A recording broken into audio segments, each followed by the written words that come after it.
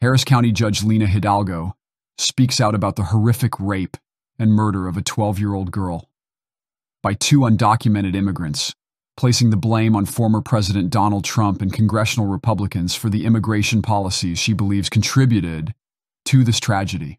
It hurts even more that they're being used as pawns in this fight over immigration that doesn't even exist because Biden and McConnell agree. It's just that Trump won't let them move it forward.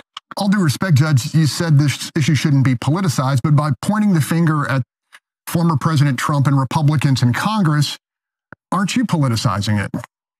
Um, I think I answered the. I think I answered the question. So, um, yeah, I mean, it's this is about Jocelyn. This is about her family, and uh, if we if we want to, Judge, as I said, talk about immigration, You then didn't answer the question. Are you Then- politicizing this by pointing the finger at Republicans and saying it's their fault, not the fault of the Biden administration that lifted the, the Remain in Mexico policies? again, the Biden administration reached an agreement with Leader McConnell to address this, but this is not about immigration. I'm not going to feed into that. Personal accountability and duties are paramount. Yet pointing fingers at Donald Trump and congressional Republicans can be perceived as an evasion of the responsibilities held by local and federal authorities to rigorously enforce immigration laws. Our focus must be on bringing the perpetrators to justice and honoring Jocelyn Nungaray's memory, while also addressing broader systemic issues.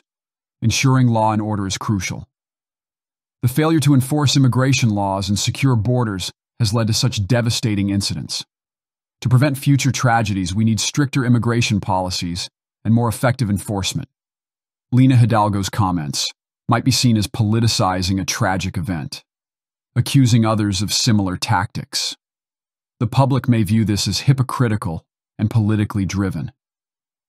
There will be a strong call for political leaders to prioritize real solutions over political maneuvering.